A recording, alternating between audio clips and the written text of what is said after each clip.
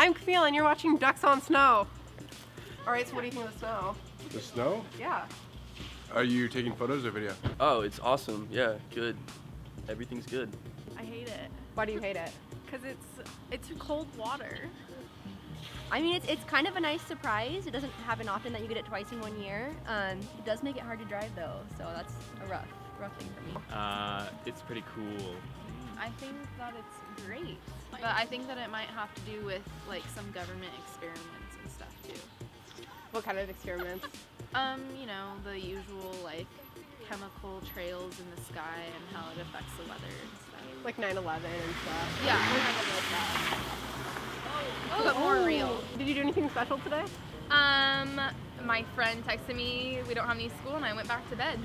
That's great. And yeah, Sweatpants in a coma. literally. We were all at Rennie's drinking. Now Oh. we're here at Webfoot drinking. Are you going to drink well tonight? Uh, possibly. I'm looking forward to uh, going to Drink Wheel tonight at Agate Alley. You starting Uh, early.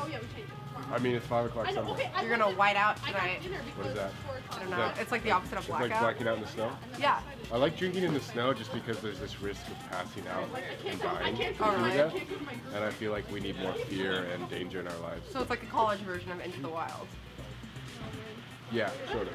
What do you think about the fact that you might be like slip on some ice and hit your head and just lay in a gutter? Um, it's kind of a beautiful way to die. Well, I woke up at 1 p.m. today and to my mom calling me, and that's what she said. She was like, "Oh, good, thank God, I've been calling you all morning. I thought you died in the ditch." Were you involved with the snowball fight last semester?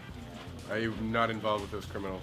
No. So you didn't like it? I don't associate myself with degenerates. Um, I mean, I thought it was a pretty poor representation of our student body, but it was a very small portion of our student body, so. Uh, I mean, I don't know. I thought it was pretty funny. I had a broken foot, so there's no way I was taking part in that. Otherwise, you would have been out there dumping snow on the cars.